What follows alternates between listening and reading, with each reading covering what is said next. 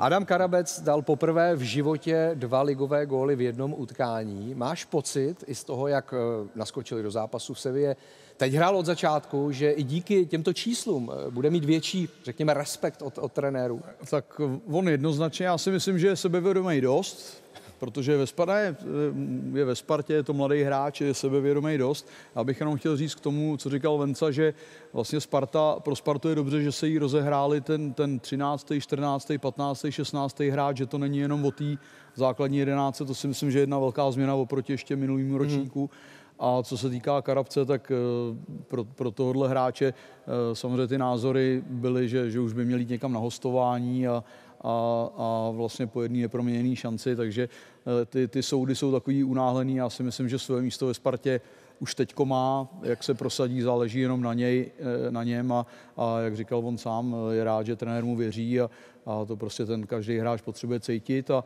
a Karabec není výjimka.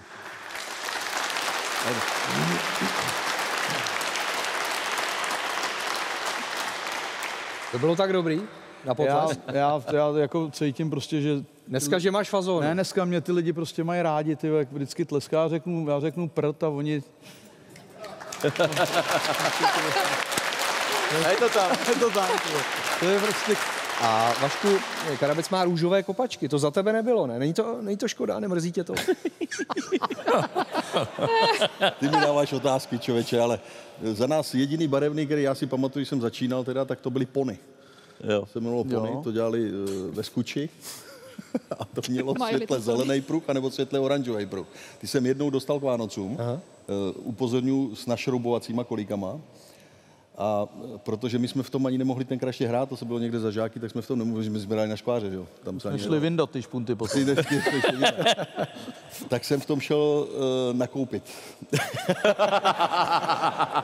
do krámu u nás ve vesnici. A všichni se ohlíželi, A, a ono, to, ono tam je, tam je ta, to cvakalo. Ta, to cvakalo krásně, všichni se otáčeli, jak jsem si řekl, těch 20 deka salámů. A, a teď si představ, kdyby byli růžoví ještě. Kdyby no, byli růžoví. Oni byli zelený. Byli. To jsi věděl, když to klapalo, jak se cítí ženský, no. když jdou s podpatkama, víš? tak se na ně všichni koukali. Terko, tak mám pocit, že v atletice, že si dáváte záležet na, na, i na té vizuální stránce vašich osobností před závody, ne? Je to tak? Ono tam není moc co vymýšlet. Dres, když máte reprezentaci, dostanete přidělený, takže jediný, co vymyslíte, jsou tretry. Právě. A jsou růžový taky? No, já zrovna mám růžový. takže Karabec, to se ti líbí tohleto, jo? Jo, tak jako u těch kluků to je trošku takový napováženou, ale, ale chápu, že ta móda hold prostě se mění a jsou to trendy, no. Hmm. Hmm. Tak já to mám podobně, jako já, za mého dětství růžové kopačky nebyly. Uh, ale mě barevné kopačky baví, protože uh, zejména můj mladší syn miluje barvy. Ano. A uh, má taky velmi veselé kopačky. Hmm. Jaký barvy? Myslím si, že teď, Andy, bílý s modrým, růžovým, uh, žlutým a modrým pruhem. Jo, takže tam má všechny barvy. Všechny barvy pro jistotu. Je to duha. Tamhle je syn, že jo? Ano. Baví tě to? Líbí se ti to zatím? Je táta dobrý?